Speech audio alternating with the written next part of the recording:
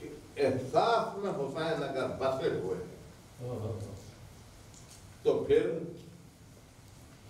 چند نام کسی ذکر کی ابھی آپ نے سنا مسجد کے دوران کہ فرش ادا سے یوں اٹھو کہ کردار بن جائے ورنہ اس کو کہانی کی طرح مت سنو it's not a story it's a fact and it's a life fact حسین آپ احساس کی آنکھوں سے دیکھیں گے تو آپ کو ایسا لگے گا آج محرم کی پہلی تاریخ ہے۔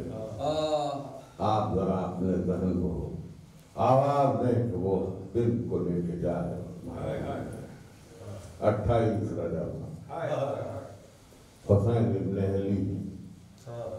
نے یہ طے کر لیا کہ اب ہم مدینہ چھوڑ دیں گے رات بھر مانا کے روزے پر رہے صبح کو آئے۔ دیکھا بہن پردے کے پیچھے کھڑی۔ آنکھیں سرخ ہو رہی کہا، زینب کا بھائی، یہی کھڑی تھی رات بھر۔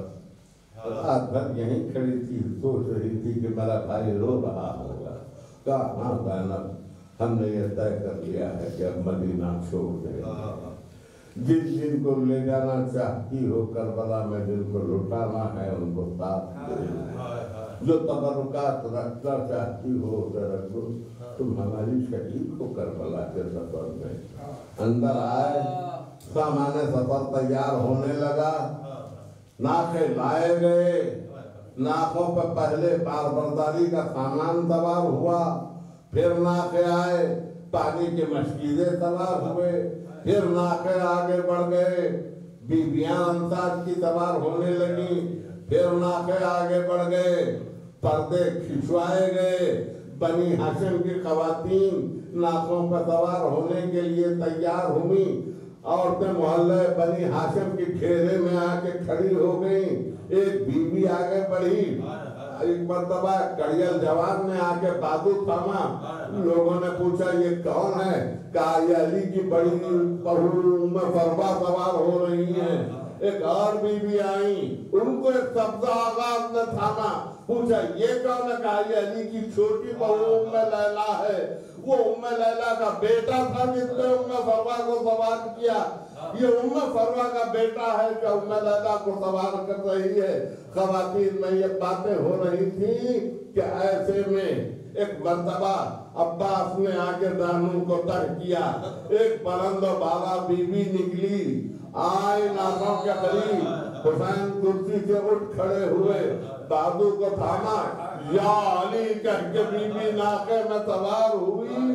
دور دور تک تلایا تھا۔ بنی ہاشم کی اور محلے کی عورتوں نے پوچھا یہ کون بی بی سوار ہوئی؟ کہ علی کی بڑی بیٹی زینب سوار ہوئی۔ قافلہ چلا۔ کچھ دور پہنچا تھا۔ کچھ دور ابھی۔